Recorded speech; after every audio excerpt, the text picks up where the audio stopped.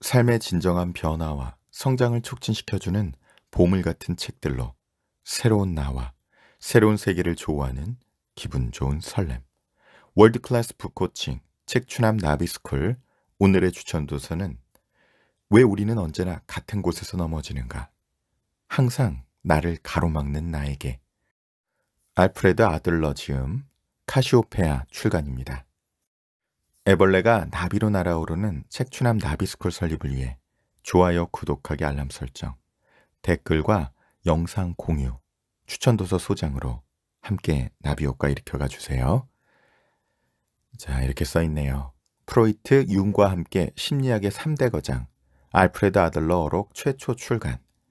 아, 책추남이 이제 또 출연드릴 수 있는 정신의학의 또 멤버가 한 명이 또 있죠. 비레름 라히. 아마 음과 양에서 음에 속하시는 분일 것 같습니다. 하여간 뭐 독특한 또 이제 다 프로이트의 영향을 다 받았던 거는 또 아무도 부인할 수 없겠죠. 다 프로이트 읽어보시고 융 읽어보시는데 이거 두 권 읽는 것만으로 머리가 깨지실 거예요. 공부도 들어가고 들어가 보면 너무 방대한 세계라서 아 정말 장난이 아닙니다. 그리고 여기에 또 이제 아들러 심리학 미움받을 용기로 이제 국내에서 또 많은 호응을 받았죠. 또 일본에서 이제 그 책을 그렇게 아들러가 유행을 하면서 한국에 이제 번역이 되면서 큰 유행을 탔고 아직까지 잘 안 알려져 있는 또 심리학자 또 정신의학자가 빌헬름 라이히인데 아, 이것들을 다 통합해서 볼 수 있는 것이 굉장히 중요한 것 같고요. 거기에 함께 데이비드 호킨스 박사, 그 다음에 켄 윌버 어, 이런 인물들까지 쭉 다 보시면 아, 전체 숲이 좀 보인다고나 할까요? 아, 조망을 할 수 있다고나 할까요? 그런데 사실은 굉장히 많은 시간과 이 머리 쥐어짬이 좀 필요한데요. 그래서 그냥 책출하면 간단하게 여러분 그냥 애벌레에서 나비로 또 나비 안에 들어있는 생명력으로 그렇게 3단계 정도로만 말씀드리는 거고 아, 그러나 또 호기심이나 학문적으로 탐구하고 싶으신 분들은 이 다섯 명을 좀 보시고 또 그것이 어떻게 내 삶에 실전적으로 실천적으로 아, 이걸 적용할 수 있을지를 고민해 보시는 것이 중요하다고 생각을 합니다. 그래서 책춘환 같은 경우는 그래서 이걸 집약적으로 어, 그동안에 했던 여러 이제 어, 경험들, 그 다음에 독서들, 그 다음에 여러 실천적 방법들을 이제 모두 다 이제 통합해서 게임 디자인 방식으로 또 이렇게 정리를 한 게 4학년 life changer 코칭 과정인 거죠. 아, 여러분의 방식만으로 정리를 해서 그것을 삶에 실천적으로 적용할 수 있도록 해내는 데까지 가는 것. 그래서 네 단계가 있죠, 여러분. 처음에는 아무것도 모를 때 내가 자동차가 있는지도 모르면 어, 운전할 수도 없잖아요. 그러니까 무의식적 무능 단계죠. 이제 두 번째 단계가 뭐죠? 아는 거죠. 어, 자동차가 있고 운전법도 있구나. 이런 걸 알게 되는 거죠. 책을 읽었다고 치면. 근데 실제로 자동차를 운전할 수는 없잖아요. 의식적 무능 단계. 자, 근데 이제 또 운전면허도 따고 이러면서 연습을 하는 거죠. 그럼 의식적 유능 단계. 그러다 이제 마지막에는 뭐 무의식적 무능 단계 이게 마스터의 단계죠. 그래서 여러분만의 기준을 가지고 여러분만의 방법론을 정립을 해서 그것을 몸에 그냥 무의식적으로 눈 감고도 운전할 수 있을 정도로 익히는 것. 그게 그냥 우리가 해야 되는 수행의 길인 것 같습니다. 그게 잘 안 되니까 의지력으로 하는 것만이 아니라 의지력은 뭔가 선택할 때 쓰는 거죠. 오직 시스템으로 가랑비에 옷 젖듯이 책추남 나비스쿨에서 제시하는 시스템은 이 정부의 홍수 같은 이 시대를 살기 위한 노아의 방주는 코코칭 시스템, 한 권이 100권, 1000권, 만 권을 꿰뚫는 키북, 그리고 이 이야기를 함께 나눌 수 있는 공동체, 이 세 가지 요소가 이 노아의 홍수와 같은 시대에 우리를 지켜줄 수 있는 좋은 공동체이자 우리의 변화를 가장 안전하고 신속하게 이끌어낼 수 있는 그러한 것이라고 생각을 합니다. 어제 이제 나비 영재 스쿨 특강하면서 우리天국님이 1년 동안 안 돼가지고 열심히 했는데 아 너무 뭐 답답했다 이렇게 얘기를 하는데 아天국님 인간의 변화가 1년 안에 일어난다는 것 얼마나 엄청난 이야기인지 아실 수 있으려나요? 그렇죠? 아, 정말 제가 그동안 쏟아부었던 시간과 돈과 에너지를 만약에 정말 아시게 된다면 진짜 엄청난 가성비로 뭐 말할 수 없는 가성비를 하고 계신다는 것 아실 수 있을 것 같아요. 음, 자, 여기서 또 한 가지 여러분 책추남은 아, 책을 오디오북처럼 낭독하는 낭독북 튜버가 아니고 책추남만의 관점을 가지고 책 이야기를 함께 여러분과 해나가는 리뷰 북튜버라는 점 언제나 기억해 주세요. 자, 들어가 봅니다. 어떤 문제든 해법은 여기에 있다. 더 용기를 내고 더 협력하는 것. 자, 이 책에 딱 한 문장으로 그냥 찍어버리네요. 아, 그래도 우리 알프레드 아들러 어떤 인물인지 좀 알아보는 것도 재밌을 것 같아요. 자, 소개가 됩니다. 프로이트 융과 더불어 심층심리학의 창시자. 1870년 빈의 헝가리계 유대인 가정에서 사남 이녀 중 차남으로 태어났다. 어려서 구류병과 후두염을 앓았고 키가 작고 볼품없는 외모에다 시력도 심하게 나빠서 신체적 열등감을 가지고 있었다. 이것이 훗날 그의 열등감 연구의 실마리가 된다. 이게 바로 인생의 연금술이라는 거죠. 나의 약점이 나의 강점으로 변하는 것. 사이토 이토리가 어렸을 때부터 몸이 너무 약했기 때문에 나중에 한방연구소와 건강식품 어, 사업을 시작하는 것. 자, 이게 우리 인간에게 주어진 영웅의 여정에 또 연금술의 여정에 아, 그런 것들이 아닌가 싶습니다. 동생이 폐렴으로 사망하고 자신도 중증 폐렴을 앓다가 죽을 고비를 넘긴 후 의사가 되기로 결심한다. 빈 대학교 의과대학으로 진학해 안과와 일반의학을 전공하고 1895년 졸업했다. 1902년 프로이트와 함께 수요 심리 모임을 열었으나 1911년 근본적인 견해 차이로 결별, 이후 개인 심리학의 시대를 열었다. 그는 인간을 이해하는 것이 곧 삶의 주인이 되는 길임을 알려준 인본주의 심리학의 선구자로서 현대 심리학과 심리치료 분야에 큰 영향을 미쳤다. 1927년 이후 미국 컬럼비아 대학의 초빙 교수를 역임하고 롱아일랜드 의과대학 교수직에 임명되었다. 죽음의 수용소의 저자로 잘 알려진 빅터 프랭클을 직접 지도했으며 미국으로 건너가 자리를 잡은 뒤 미국의 인본주의 심리학자 메슬로우와 칼 로저스의 이론을 정립하는 데 깊은 영향을 끼쳤다. 미국과 영국을 오가며 왕성한 강연을 하던 1937년 스코틀랜드로 강연하러 가던 중 심장마비로 세상을 떠났다. 심리학자 외에도 아들러의 영향을 받은 사람은 스피치와 인간관계, 자기관리 부문에서 뛰어난 업적을 남겨 자기개발의 시조라고 평가받는 데일 카네기와 내 안에 잠든 거인을 깨워라의 저자 앤서니 라빈스, 성공하는 사람들의 일곱 가지 습관으로 유명한 스티븐 코비 등이 있다. 인간에게 가장 어려운 것. 사람에 따라서 같은 경험이 다양하게 해석되고 기억되는 것을 보면서 우리는 이해할 수 있다. 왜 인간이 자신의 행동 패턴을 바꾸지 않는 것인지, 왜 경험을 왜곡하면서까지 자신의 행동을 합리화하고 지키려 하는지. 인간에게 가장 힘든 것은 바로 자기 자신을 알고 변화시키는 것이다.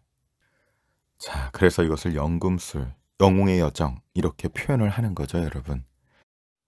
누군가를 돕고 싶다면, 어떤 사람을 정말로 돕고 싶다면, 우리가 해야 할 일은 그가 스스로 해낼 수 있다는 것을 믿어주는 것 뿐이다. 삶의 두 가지 기준. 가슴이 이끄는 대로 가되, 뇌를 항상 챙겨가라. 당신에게 삶의 의미는, 삶의 의미는 무엇입니까? 라고 내가 묻는다면, 현명한 당신은 대답할 것이다. 그 질문을 듣기 전에는 알고 있었던 것 같은데, 막상 질문하시니 모르겠네요. 많은 사람을 관찰해 본 결과 알 수 있었다. 말로 표현하지 않아도 이미 행동으로 각자 대답하고 있음을. 그래서 여러분 책추남 정말 농담 반 진담 반 말씀드리죠. 여러 가지 말씀들을 하실 때 직추남이 항상 드리는 건 시간으로 말씀해 주세요. 시, 지속적인 행동으로 말씀해 달라는 거죠. 그리고 자본주의 사회를 살아가는 우리로서는 아, 여러분 통장에 입금을 주시고 아, 그리고 나서 말씀해 주세요.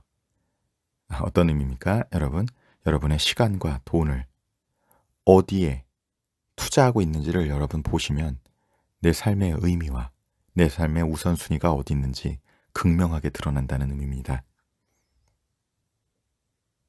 여러분은 여러분의 시간과 돈을 어디에 가장 많이 사용하고 계신가요? 그것이 바로 여러분 삶의 의미이며 여러분의 우선순위이자 지키고 살아가는 가치입니다.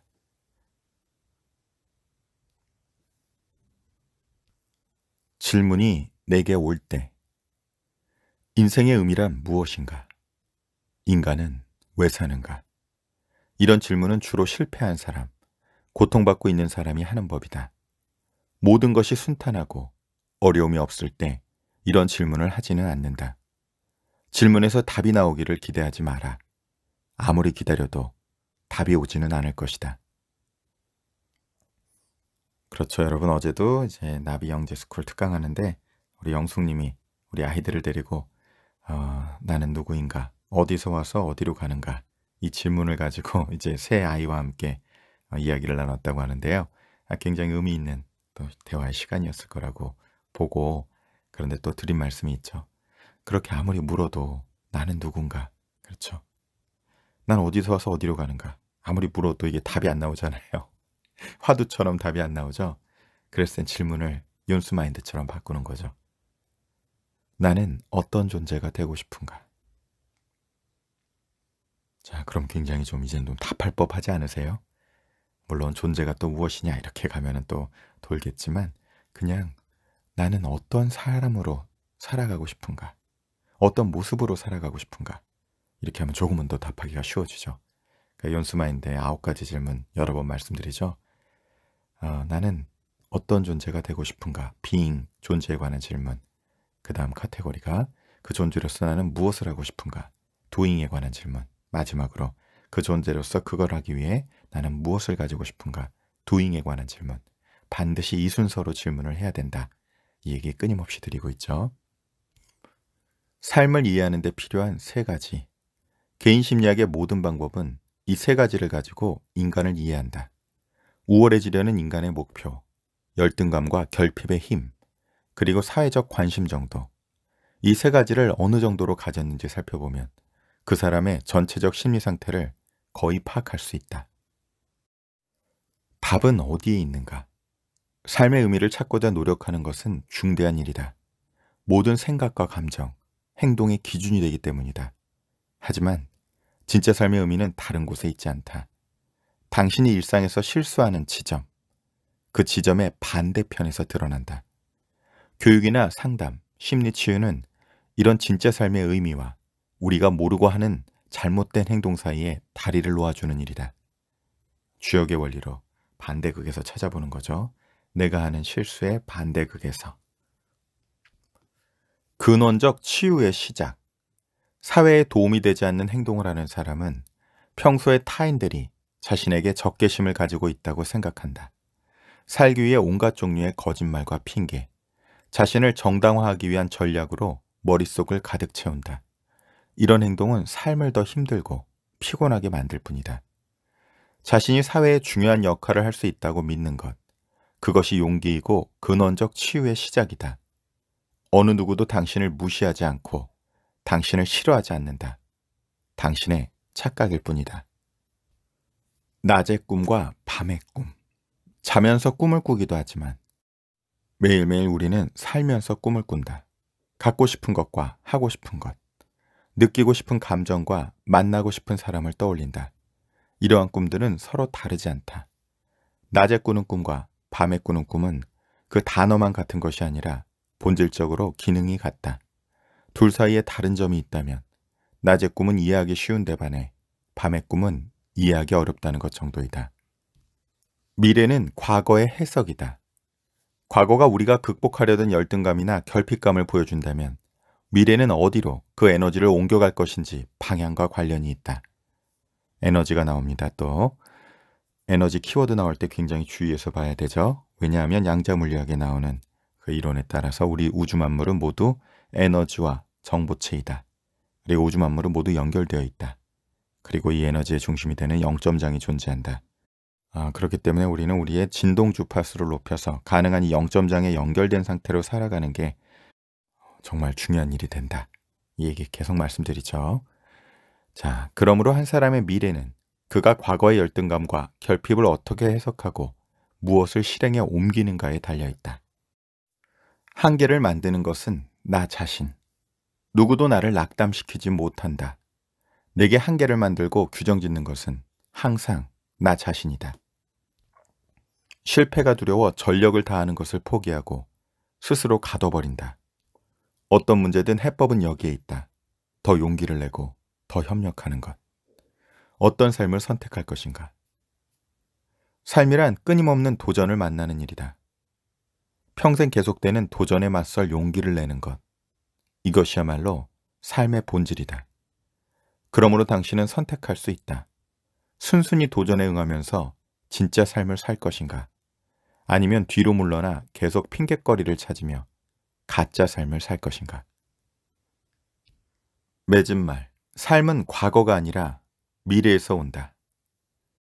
이 책은 1927년부터 1933년 사이에 차례로 출간된 인간 이해, 삶의 과학, 삶의 패턴, 삶의 의미란 무엇인가, 사회적 관심 등 아들러의 대표적 저서 다섯 권을 토대로 쓰여졌다.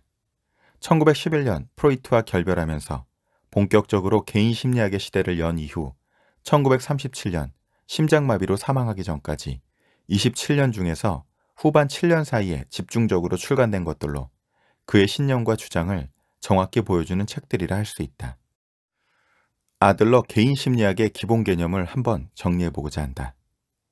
아들러가 말하는 개인은 더는 쪼갤 수 없는 단위로서 하나의 통합된 유기체를 의미한다. 이는 프로이트가 개인을 원초와 이드, 자아, 에고, 초자, 슈퍼에고로 나눈 것에 정면으로 반대하는 것이다. 즉 사람은 누구나 다른, 각각 독특하고 독립된 존재이며 오직 그 개인 안에서 전체적으로 맥락을 살피며 보아야 한다는 주장이다. 인간에게 자유의지란 없으며 본능의 희생자에 불과하다고 보았던 프로이트와 정반대로 의식과 무의식은 분리되어 갈등하는 관계가 아니라 하나의 동일한 실제이며 서로 보완하는 일체라 했고 개인을 갈등의 조정자로 보았다. 그러므로 아들러에게 있어 인간은 유전과 환경의 산물에 그치지 않는다. 항상 목표를 설정하고 스스로 창조해가는 능동적인 존재이다. 이러한 개인의 창조력은 지각과 기억은 물론이고 꿈까지도 조절하고 이끌 수 있기에 자신의 존재와 행동에 대해 스스로 책임을 져야 함을 분명히 했다.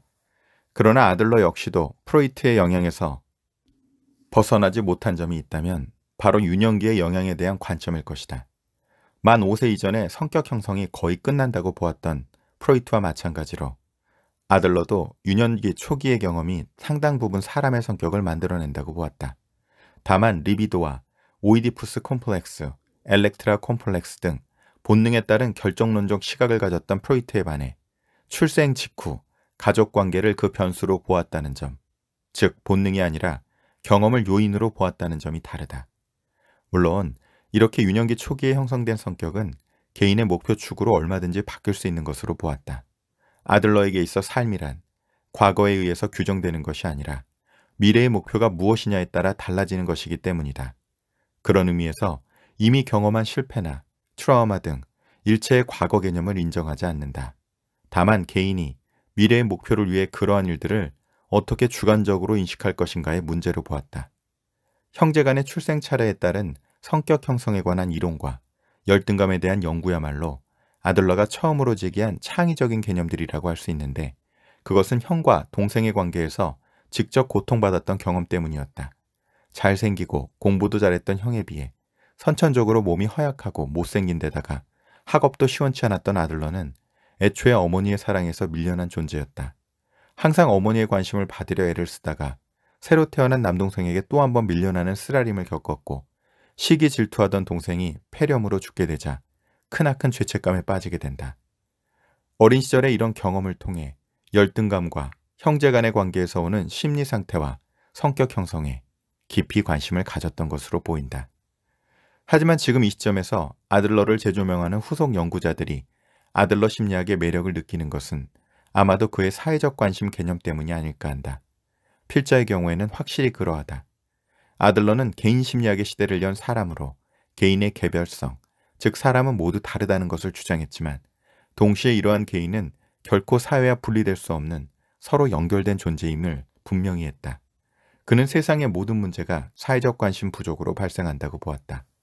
아들러가 애초에 썼던 용어인 독일어의 공동체 의식, 발음이 고등학교 때 하고 안 해가지고 잘 모르겠는데요. 게마인샤프트, 게필은 영어로 옮겨지면서 사회적 관심, social interest 혹은 공동체감, community feeling 등 대여섯 가지로 조금씩 다르게 쓰이다가 후학들에 의해 사회에 대한 소속감과 연대의식을 느끼는 인지와 태도의 통합적 개념인 사회적 관심, social interest로 정리되었다.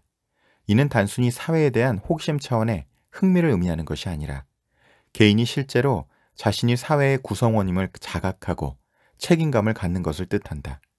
자신과 사회의 이익과 불이익이 따로 있지 아니함을 실감하면서 살아가는 것이다. 개인이 가장 건강한 상태가 되려면 이 사회적 관심이 충분히 갖춰져 있어야 한다. 아들러의 이론에 따르면 모든 개인은 초등학교 입학하기 이전의 시기에 어느 정도 인격이 완성된다. 삶에 대한 자세와 태도, 살아갈 방식, 성격 등이 거의 이 시기에 이미 결정이 된다.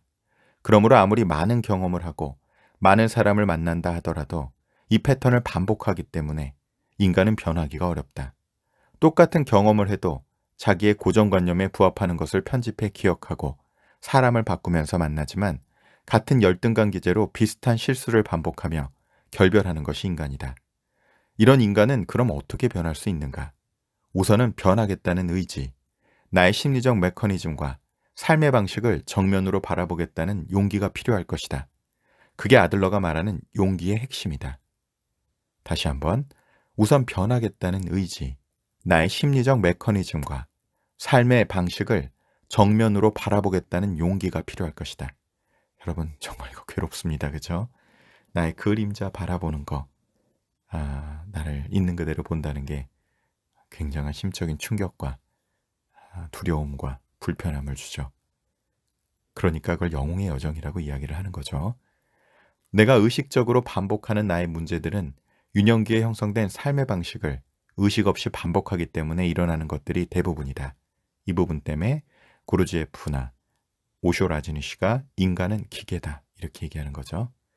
그러므로 이 시기에 무엇이 잘못되었는지 성찰하는 과정을 거쳐야 유년기의 나를 그 상황에서 이해할 수 있게 되고 실수를 알 수 있게 된다. 그러면 절반의 문제는 해결된다. 나머지 절반은 어디에 답이 있는가? 그것은 바로 사회성의 회복에 있다. 다른 사람과 협력해서 문제를 해결하고 함께 놀고 어울린다는 것. 그것으로 인해 더 이상 내가 상대보다 열등하거나 우월하거나 하는 문제에 빠져들지 않는다는 것. 그것이 아들러가 말하는 결정적 회복의 길이다. 정신분석 입문을 비롯한 프로이트의 저서들을 읽으면서 정신분석에 깊고 난해한 어둠의 세계에 질려버린 사람이라면 무엇이 되었든 아들러의 저서는 무척 쉽게 느껴질 것이다.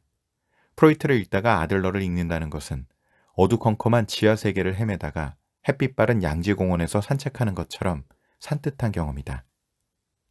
이것이 무슨 심리학 이론인가 싶을 정도로 문장이 쉽고 분명하다. 그것은 아마도 낙천적이고 밝은 아들러의 성격과도 관계가 깊을 것이다.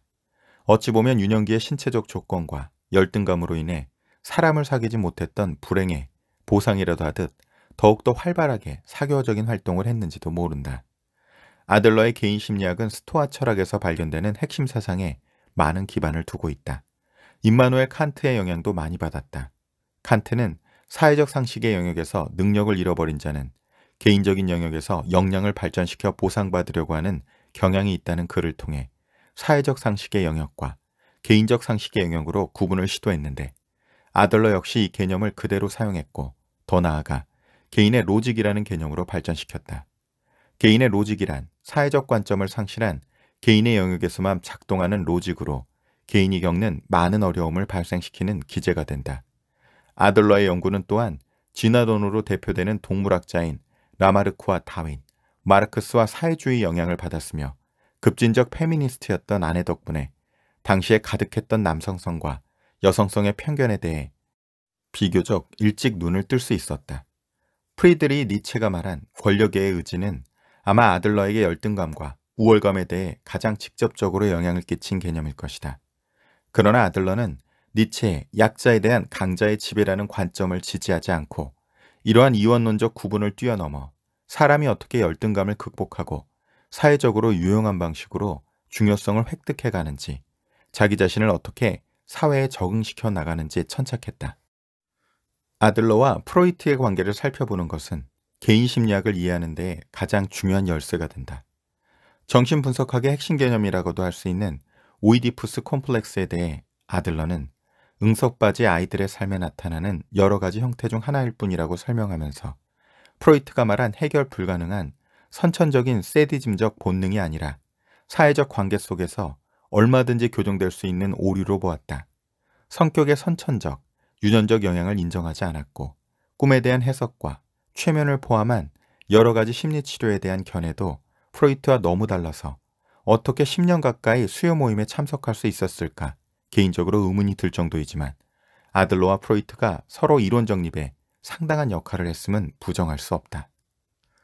다만 안타까운 것은 강연 중심으로 활동하면서 실제적 적용과 현실적 접근을 즐겼던 탓에 아들러의 저술이 프로이트에 비해 확연히 부족하고 갑작스러운 심장마비로 사망하면서 학설로 제대로 정립되지 못해 덜 알려졌다는 사실이다.